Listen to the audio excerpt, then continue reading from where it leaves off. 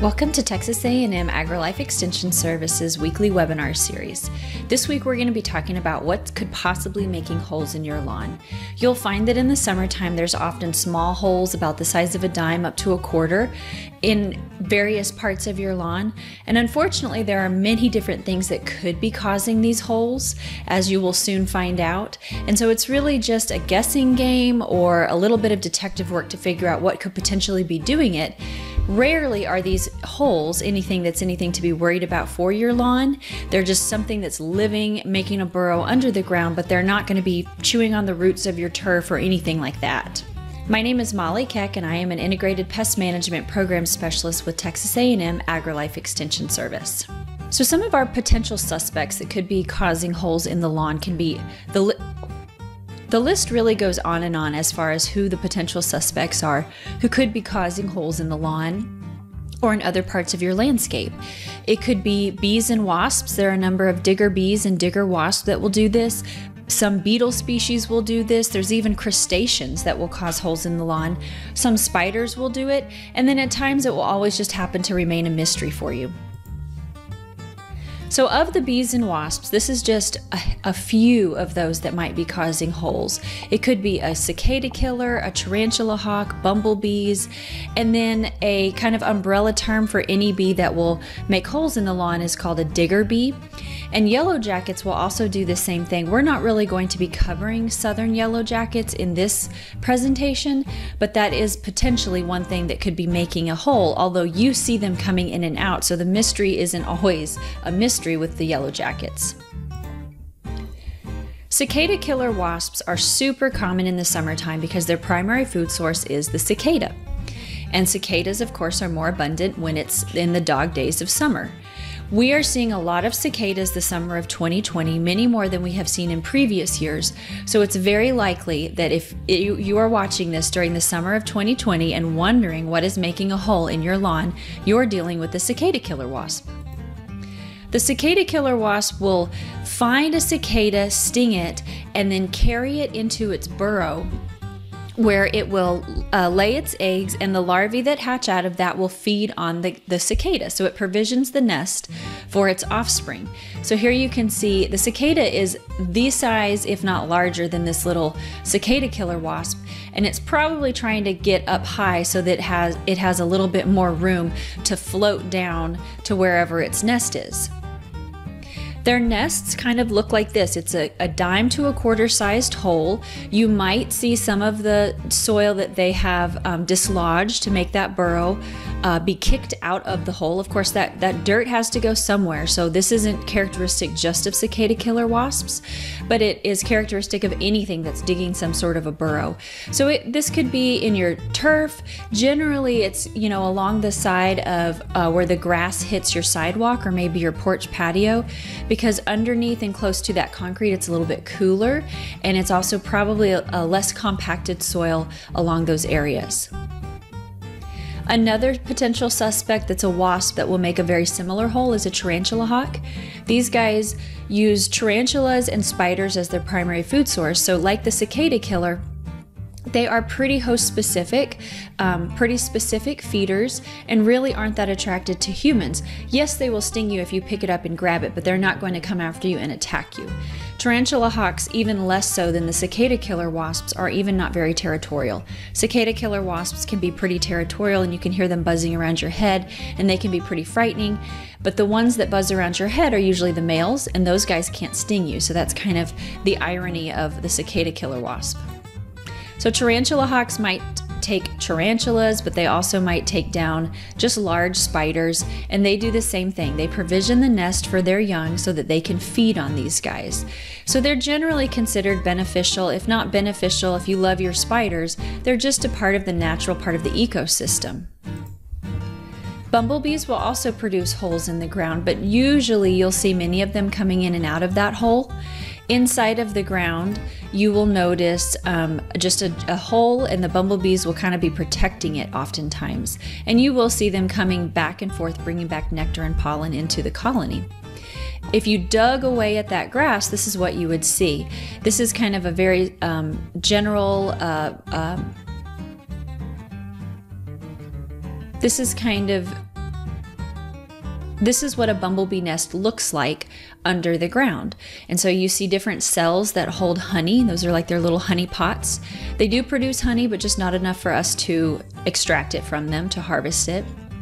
And then there's different cells where their larvae, um, eggs are laid, larvae develop, they're capped up, and those are the pupa. And so they cooperatively care for the young. There is a queen in there laying all the eggs, and there are workers that are out and about foraging for food. These will die off when it gets very cold, leaving behind a mated queen to overwinter, and then they start building up the colony again during the springtime and usually in the summer, kind of the end of the summer after the honeybees have stopped finding food. That's always when I see the bumblebees being a little bit more abundant and prevalent. They kind of like to go after those those plants um, like your bougainvillea and your esperanzas that are blooming like crazy when we're in the hot, hot, dry parts of the year. Digger bee is just a generic term for any bee that digs into the ground, and there's a number of different species of digger bees. They're generally native and they're generally solitary bees, and they like to get into spots of your turf or your garden where the soil is pretty soft and easy to move around, so it's not uncommon to find them in your garden beds. This is some digger bee nests. Sometimes it can be pretty unsightly if you have large colonies. So although they are solitary, they do like company, and you will find multiple holes or burrows that where they've been laying their eggs. And one single female might have multiple burrows, also not just a single one. So the the damage they do is just kind of a nuisance and unsightly, but they're not actually damaging the grass or the turf. So let's say that you have to manage the, the digging wasps and the digging bees. You absolutely can't stand to live with them. First, I would ask yourself is it absolutely necessary? What are they harming that's bothering you so much?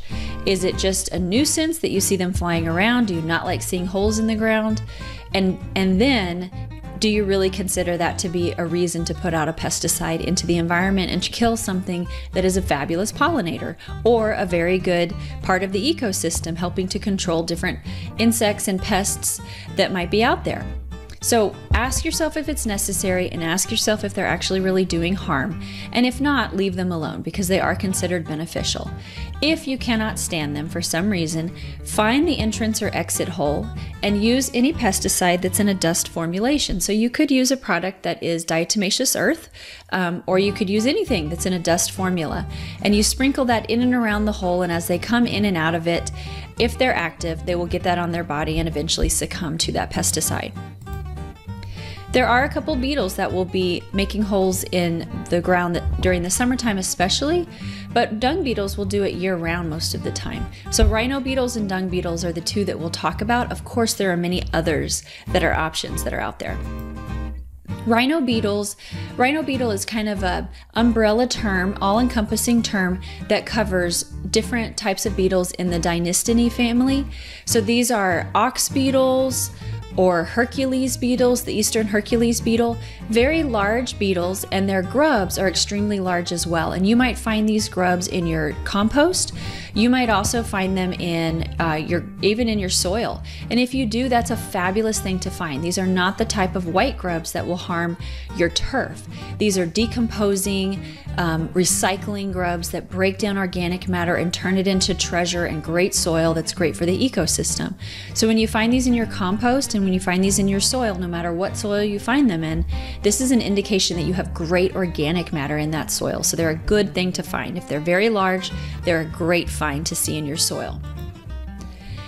The life cycle of the rhino beetle is that the adults will lay their eggs um, in the soil and the larvae will start to develop and then they'll pupate and out of that pupa case will come the adult finally. And when the adult emerges, it will start looking for a mate.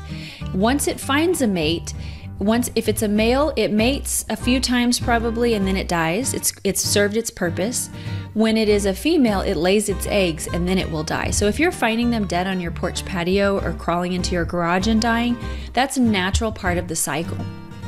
They are found more readily in the summertime, but there are probably, the life cycle probably only takes about six months or so in, in the South Texas area. So you kind of have two different generations. They live the majority of their life as larvae, breaking down and feeding on organic matter in the soil. If you think that they're feeding on dying or dead, if you think they're feeding on roots of your plants, understand that they only feed on decaying organic matter. So ask yourself, why is that plant decaying that would cause them to feed on the roots? Let's solve that problem instead of worrying about solving the problem with the beetles. These are two pictures of suspected rhino beetles, or these are this is this is a picture of a suspected rhino beetle exit hole, and I don't know if you can see it very clearly, but there are kind of dime, uh, nickel sized holes that you can put a pencil down um, pretty deep that these rhino beetles are emerging from because probably there was compost and great mulch that this garden bed utilized and that's just very attractive to them. So it's not it's not harmful to that plant even though they're right up next to it. They are really only concerned about those things that are decaying in the soil. This is also another suspected rhino beetle exit. When they are exiting um, coming out of the pupa and coming out of the soil, they've got to extract that soil and put it somewhere, right? So you're going to kind of have this waterfall of dirt that emerges from the hole. Dung beetles can also produce small holes in the ground. So dung beetles are probably only about around uh, the width of a, a, dime, so that's the size of their hole. And what they will do, the species that we have in Texas, is they will find dung or fecal matter. The male and the female together will ball that dung into a, almost a perfect sphere. She will lay her egg in the middle of the dung, and the, the baby that hatches out of it will eat the dung, so it's provisioned with food, utilize the harder outer shell of the dung as its pupa case, and then emerge as an adult. And that dung ball is rolled into a small hole where it's protected. So you can see here um, into that little tiny hole it goes, and that's where you might see some holes in your in your turf where the dung beetle ha- uh, is using that, utilizing it for its offspring. We have dung beetles pretty much all year round. Um, if you're in a warm part of Texas, so there's not particularly one time of the year that you notice them. But usually you will notice the holes when it's wintertime and your grass is dormant and kind of thin, or where in the hot times of the summer and your grass is just having a hard time struggling, and so it's kind of thinned out and you're able to see the soil pretty well. They don't they they don't always like to lay their eggs um, or roll their dung balls into turf. They'll find other spots to put it wherever it's easy for them to kind of excavate that hole. So for managing the digging beetles, Really, my best advice is just to ignore them. Understand that these guys are beneficial. If we got rid of all the dung beetles, we'd have a lot of fecal material that's all over the place. If you killed all of your rhino beetles, you're stopping that great process of breaking down the compost and your mulch and turning it into the soil that your plants require.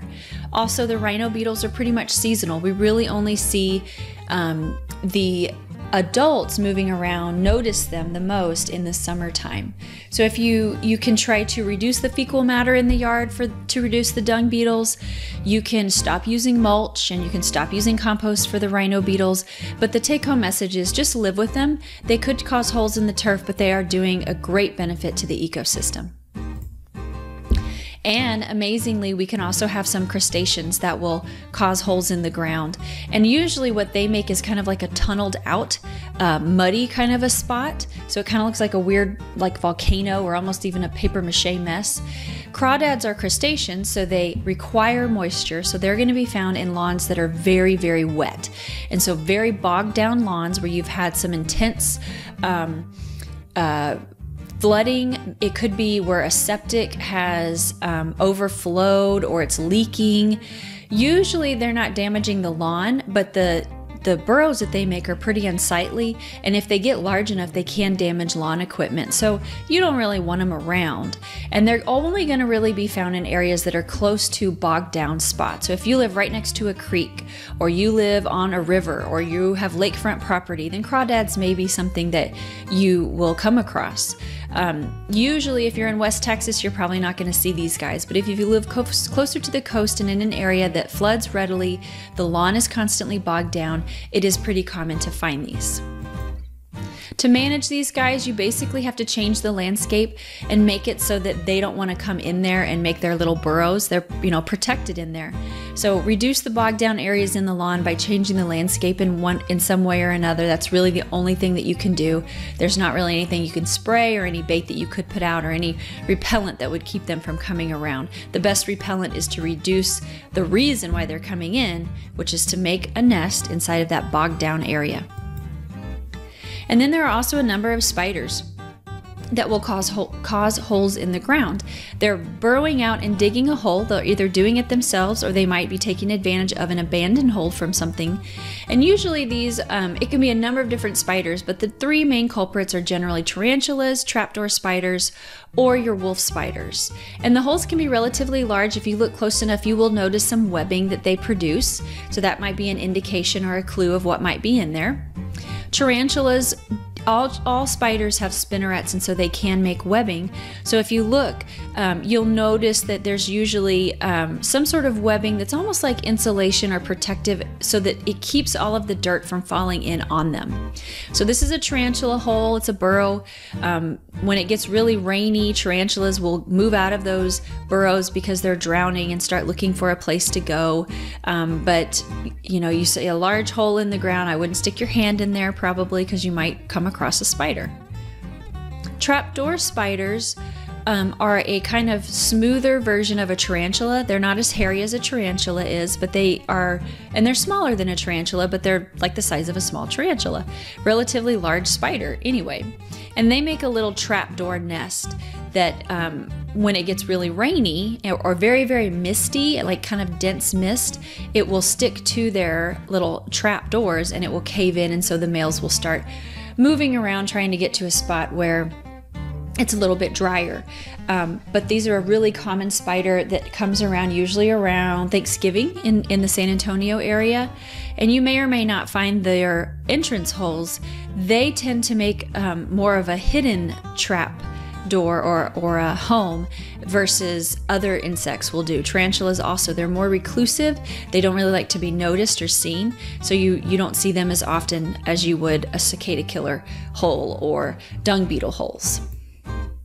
And wolf spiders will do the same thing. And sometimes they don't have to be digging into dirt, they can kind of be digging through mulch. Anywhere that they can find some void and they have an entrance or an exit hole that they'll hide in. And they do make webbing, although they don't live in a web. They, they live under the ground or other under other objects. All of these spiders are harmless. Everything can bite. They all have mouth parts, but I always say I will bite too if you put your finger in my mouth. So just don't try to poke at them or grab them. They're not going to purposefully attack you and come after you. And then earthworms. Um, this is a not an insect and not a crustacean. Earthworms are annelids. They're their own thing related to other worms. But you can see their castings that they will form where they're digging through the soil. And those castings are very um, nutritious for the soil. They're really great to have for your plants, but you might not like the look of that on the ground. And there's really not a whole lot you can do to control the earthworms. They're there because you have great, great soil. So maybe try not having such good soil if possible possible. Break that stuff down a little bit, collect it if you can, rake over it, mow over it, do something like that to reduce it. Um, but it's really good to have in the ground. So if you kind of see, um, uh, castings kind of look like muddy little clumps of, of dirt. That's how you know you've got earthworms versus something else.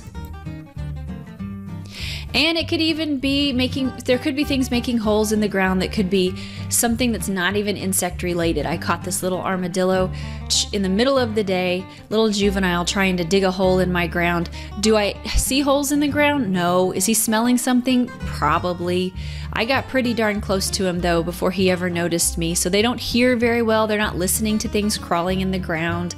Um, they might uh, smell something in there, but really they're just they're rooting around looking for food. So just because you have an armadillo doing this doesn't mean that you have grubs or anything like that in the soil. It just means that they're looking for some sort of a food source. They are foragers and they're ranging around.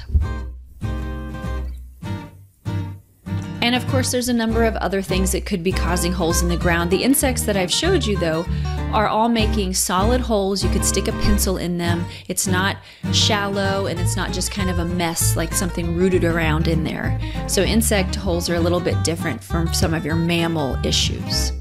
Well, thanks for joining us for this week's weekly webinar. Maybe that gave you some insight into what be, what could be causing some holes in your lawn. But the truth is, most of the time it just remains a mystery, and most of the time it's not anything that we really need to be overly concerned about. There's enough stresses in this world, and what makes a little hole in the grass is should not be one of those. Be sure to check out other webinars that we have provided on this YouTube channel, My Extension 210.